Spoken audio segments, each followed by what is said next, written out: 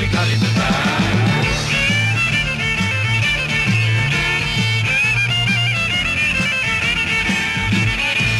Buy best ones buy them, and then you find out bread and.